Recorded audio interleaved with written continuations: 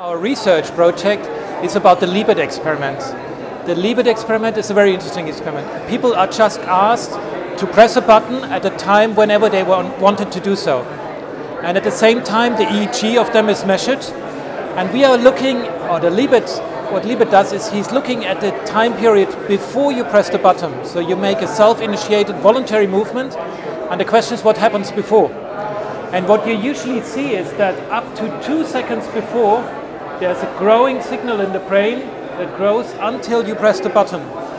So many people thought that's the idea that, and when you, uh, and there's an important fact, we asked the people on the clock, when exactly did you decide to move? And when they then press the button here and they report that obviously approximately here they decided. But the interesting fact is that the brain signal started before the decision. So this led many people into the belief that there's no such thing like free will, but that it's like the brain is making the decision by itself. Later on, consciousness kicks in, and then finally you do the movement. So we wanted to know is this really true? And we replicated this, this experiment with meditators, with experienced meditators. And why did we use meditators? Because meditators are very experienced in internal observation, introspection, and in attending their own processes. And we wanted to know how does this decision time and this decision process comes up. And as a control group, we had non-meditators. And we had a meditator who told us how such a decision develops, that there's first an initial kind of urge to do an action, and that you then kind of take up that action and form it into a decision. So we wanted to see whether this makes a difference.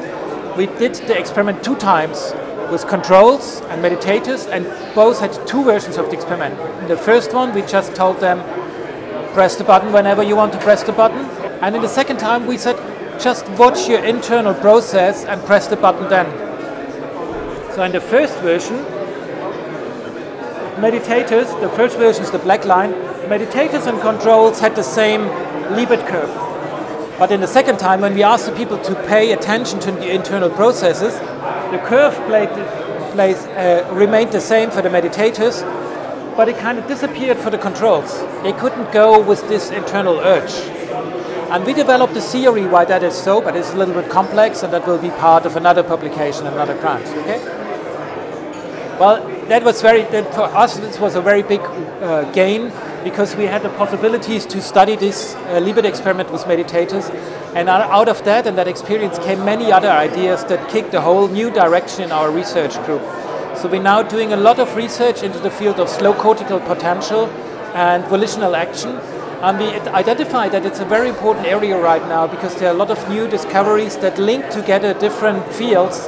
And this initial grant gave us the possibility to do this with certain professional attitude.